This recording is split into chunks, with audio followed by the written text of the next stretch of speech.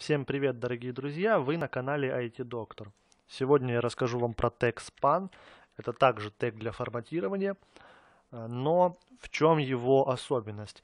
Если мы указываем тег p и внутри какой-то текст, э, то мы не можем еще раз указать тег p, например, для слова lorem, э, чтобы изменить как-то его стиль. Например, нам нужно изменить один, одно слово или несколько слов.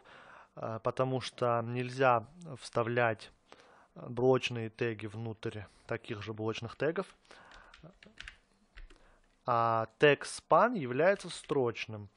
Не будем сейчас подробно на этом останавливаться, но просто запомните, что тег span можно вставлять внутрь других тегов, например, в теге p, div и так далее.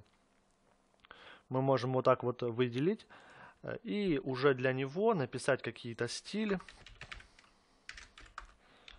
color, например, red. Не будем сейчас сильно много писать стилей. И вы видите, что у нас эти э, именно два слова выделились так, как мы им указали стиль.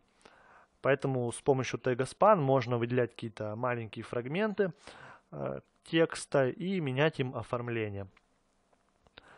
Это, можно сказать, последний видеоурок э, по форматированию текста.